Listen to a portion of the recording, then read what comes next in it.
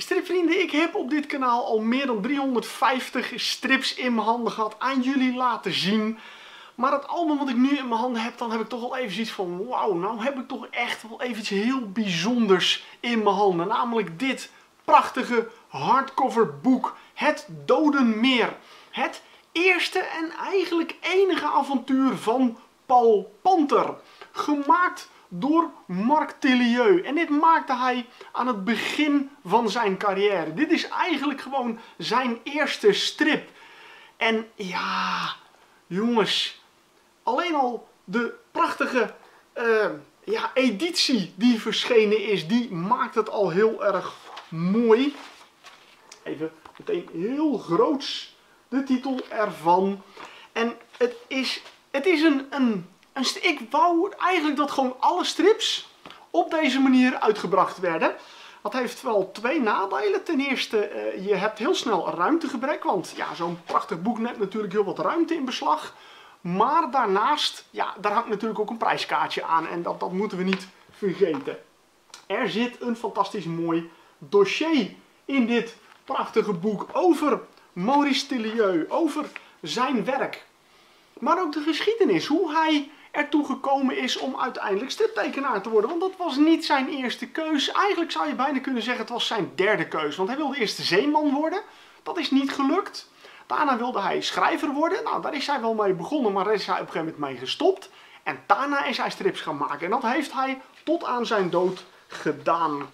En ja, jongens, het is zo ontzettend mooi dit boek.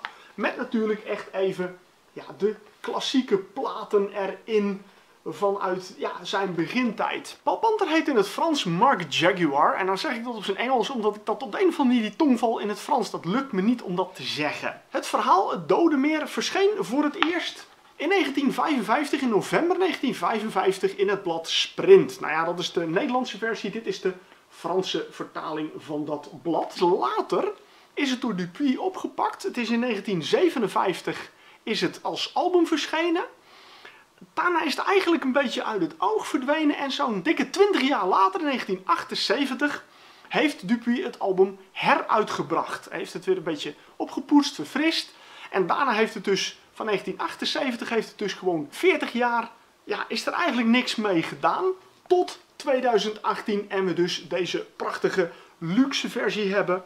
Met dat prachtige dossier erin waarin je heel veel gaat lezen. Maar waar het natuurlijk om gaat is het verhaal zelf. Nou, je hebt hier even de cover zoals die in 1978 was. In de categorie jeugdzonde. Dat was zo'n ongelukkig gekozen reeks van Dupuis. Maar hier staat dan ook heel mooi even de Franse cover bij. En dat is wel heel erg gaaf. Ja, en dan natuurlijk even de strip zelf. De, de, versie die hierin staat, dat is de versie uit 1978, want ja, dat is dan de meest recente. Uh, die is opgepoetst qua dialogen en qua inkleuring. Die hebben ze helemaal vernieuwd. En je ziet meteen eventjes dat um, het, het, alle hokjes zijn ongeveer hetzelfde. Dus je hebt gewoon uh, eh, 12 hokjes op een bladzijde.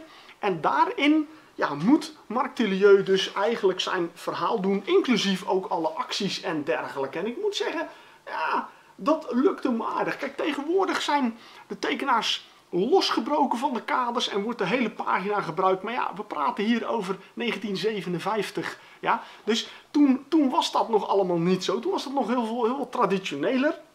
Maar ik moet wel zeggen, um, nou ja goed, een enkele keer breekt hij ook wel een klein beetje uit zijn kaders gelukkig. Het verhaal is heel erg leuk. Wat laat zien dat Marc Tillieu in 1955 en eigenlijk al iets eerder natuurlijk niet alleen al een hele goede tekenaar was. Want de tekeningen die zijn echt fantastisch mooi. Het is echt genieten. Zeker even voor die tijd. En zeker voor het feit dat dit zijn eerste boek was. Maar daarnaast is hij ook een hele goede scenarist. Hij is een hele goede verteller, want hij weet het verhaal op een hele leuke manier te brengen.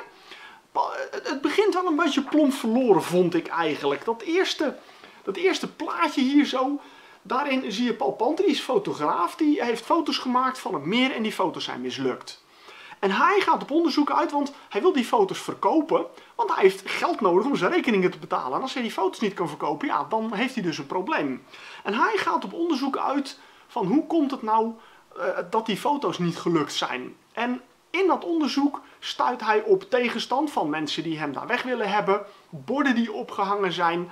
Uh, en hij, heeft, hij krijgt steeds meer het gevoel van er is iets niet in de haak. Nou, samen met een vriend van hem, een detectieve, die veel loopt te zeuren vooral, gaat hij op onderzoek uit. En nou ja, vanaf dat moment krijg je gewoon een ontzettend spannend avontuur. Wat heel erg lekker leest en wat echt fantastisch mooi is. En ja, het is zo gaaf om dat boek te lezen. En ik ben zo blij dat dit album dus opnieuw is uitgebracht. Want ja, ik, ik kende het eerlijk gezegd niet. Ik bedoel, kijk, Ehm, wat ik al zei, hè, eh, het Dodemeer is eigenlijk het enige verhaal geweest. Er is, hij heeft nog een ander verhaal, daar is hij mee begonnen. Maar na acht platen is dat wegens geldgebrek eigenlijk stilgevallen.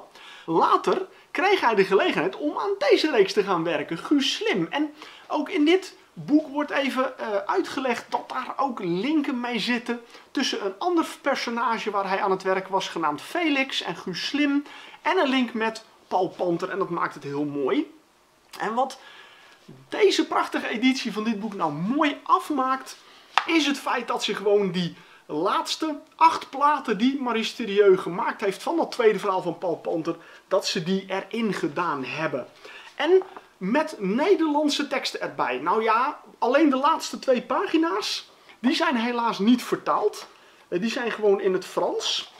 Maar ja goed, je hebt wel eventjes gewoon echt compleet. Eigenlijk is dit gewoon de complete Paul Panter. Zo zou je het moeten zien. Een mooie dossier-editie. Nou, wat dat betreft een fantastisch mooi boek. Ik ben er ontzettend blij mee. Het is geweldig om te lezen. En ik zeg al, dit is echt een pareltje qua stripverhalen. Dus ik kan alleen maar zeggen, zorg dat je deze in je collectie hebt. Zorg dat je deze gaat lezen, want je gaat hier enorm van genieten. Het is zo'n prachtig mooi boek. Ja, ik kan niet over door blijven gaan hoe mooi ik het vind, maar laten we dat maar niet doen. Ik denk dat het wel duidelijk is dat ik enthousiast ben over Het Dode Meer van Paul Panter van Marc Tillieu. Je vindt hem bij de stripwinkel. Ik wens je alvast heel veel leesplezier. Bedankt voor het kijken en tot de volgende vlog.